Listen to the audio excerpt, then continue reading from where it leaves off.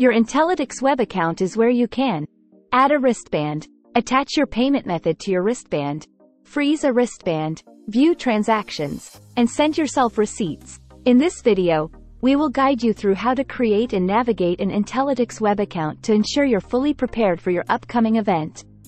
Ready to dive in? Let's begin. Part 1. Create an Intellitix web account. To get started, go to account.intellitix.com slash sign-in-up. Enter your name, email address, input a password, and click the I accept the terms box. Then, click Continue. You will be sent a verification email to the email address used to create your account. Open the email and click the link to verify your email address. You will be taken to a verification confirmation page. Click the Return to Login button. Insert your login information and then click Login. Next, fill in the account creation fields such as date of birth, gender, and address. Once all the fields have been filled out, click Create Account. When you've successfully logged into your new Intellitix web account, you will be brought to your My Events page where you will see a button that says Add Wristband, Card. Part 2. Add a wristband to your Intellitix web account. Once logged into your Intellitix web account, click the Add Wristband, Card button from your My Events page. This will bring you to the Add Wristband, Card page. Here, you can enter the UID and security code located on the back of the wristband. Once the UID and security code have been inputted, click Add Wristband Card button.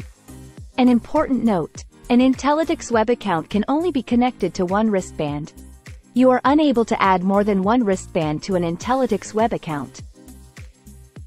If you have used your wristband at the event to top up and or make purchases, after you add your wristband to your Intellitix web account, your event balance and transaction history will be accessible. Part 3. Attach a payment method to your Intellitix web account. By linking a payment method, a credit card, to your Intellitix web account. The wristband added to your account gains the ability to make direct purchases using the attached card. Once you are logged into your Intellitix web account and have added your wristband, click the profile page. Then payment methods. Next, click add payment method and enter your card details. Card number, name, expiry date, and CVC. Then, click Done. The new payment method will appear in your list of attached payment methods. Intellitix support. As you create and manage your Intellitix web account, feel free to message our support team through the chatbot in the bottom right-hand corner of your web account. Or visit our help center by clicking on the support page located in your left side navigation menu. We hope you found this Intellitix web video helpful, and that you have a great time at your upcoming event.